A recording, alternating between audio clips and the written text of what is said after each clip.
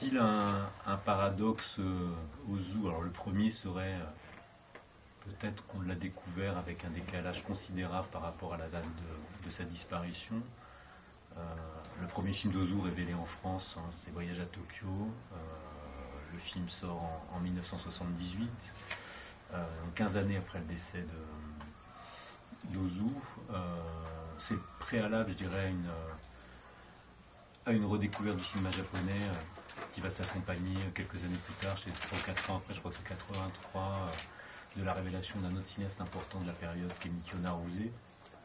Il se trouve qu'il euh, y a eu une pérennité d'Ozu dans, la réception critique et l'estime de l'œuvre, alors que Naruse, lui, a, est resté trop longtemps ou injustement un peu à, l'arrière. Alors je ne sais pas ce qui explique la réception différente de ces deux œuvres considérables. Néanmoins, euh, du côté d'Ozu, il y a toujours eu une sorte de,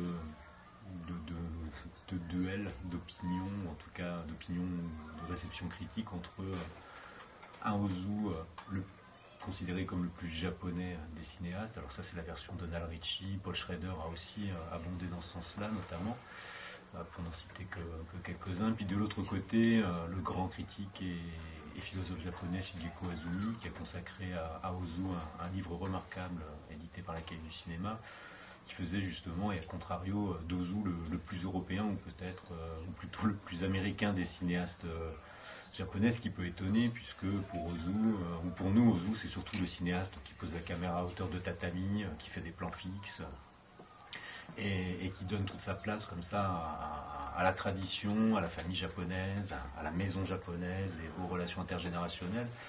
Donc il y aurait une sorte de, contradiction dans les termes à considérer euh, Ozu comme le plus européen, le plus américain des, cinéastes. Je pense qu'il faut aussi euh, considérer la période dans laquelle euh, les grands films d'Ozu, alors il y en a très tôt des grands films d'Ozu, mais ceux qui ont été les, les, plus marquants et parmi ceux-là, ceux que pouvez voir ou revoir actuellement sur Arte, accompagné de quelques ressorties plus anciennes chez, Carlotta de films moins accessibles. Euh, parce qu'on est vraiment dans les années 50, hein, Voyage à Tokyo, euh, euh, Printemps tardif, Été précoce, Bonjour, qui sont des, films absolument remarquables. et c'est une période où, le Japon se vit aussi dans l'après-guerre. Alors, les marques de l'après-guerre, elles sont moins frappantes dans le cinéma d'Ozu, étant donné que la présence américaine, elle n'est pas très visible voire invisible à, l'écran ou fugacement. Néanmoins, euh, il y a des éléments de culture qui viennent se propager ou d'une manière un peu, contagieuse et qui finalement vont accompagner ce passage à la couleur, du noir et blanc à la couleur dans le, cinéma d'Ozu et notamment euh, une présence des rouges. Ils sont très Coca-Cola dans les films d'Ozu, étrangement.